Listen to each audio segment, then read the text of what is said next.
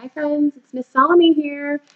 Um, reaching you, reaching out to you today through um, my home. This is my fish tank in my kitchen. Welcome, welcome. I had promised you I would bring my fish in. Unfortunately, I didn't get a chance to, so here we are. You get to meet them all. We have our zebra danios over here. They are tropical fish along with Sosuke. She's over here bobbing in the back. You can see her fin. She's a tropical fish. Goldie is a cold water fish. So she can survive in water that's a little bit colder than the other three.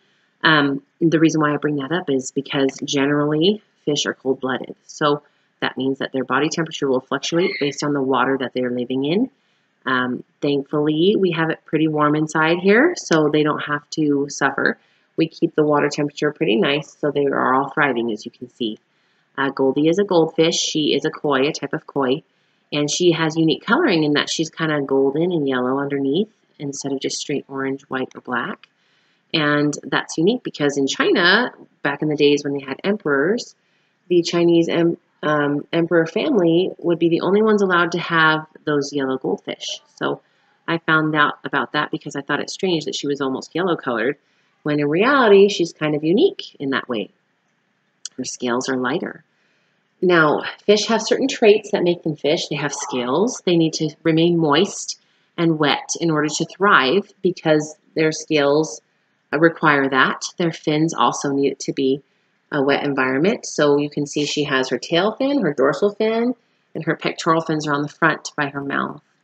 Her gills are just above her pectoral fins. Let's see if we, she'll turn to the side for us. There she goes. There are her gills right there. And she'll breathe through her gills. The oxygen will pass um, over her gills as the water rushes out the gill and be absorbed by her blood so that she can have oxygen in her blood and survive. Now, um, fish can use tools. They're brilliant little creatures. They can pick up a rock with their mouth and smack it on a clamshell and eat the little critter that lives inside. So they'll use tools. They'll also protect and um, uh, protect their eggs uh, before they hatch. Some fish will even put them in their mouths. Uh, not to eat them, of course, just simply to keep them there safe until they hatch. And then once they are wriggling and moving around, they'll set them loose. The mom and dad will set them loose and they can survive on their own. So that's something pretty unique about fish. They'll use tools, they'll take care of their young, and they breathe through their gills. They do not, as a rule, have lungs. Okay? Fish also share something in common with mammals and birds in that they have a backbone. They're vertebrates. So as you can see, her backbone is quite flexible as she moves around in the water. But she does have a backbone, and um, she shares that trait with us as human beings, as mammals. Okay? Uh, fish are different from other species though because most species, there are four or five species that can do else uh, can do um, land travel, um, but for the most part, fish do not thrive outside of the water. They have to have moisture. They have to have water running through their gills so that they can breathe.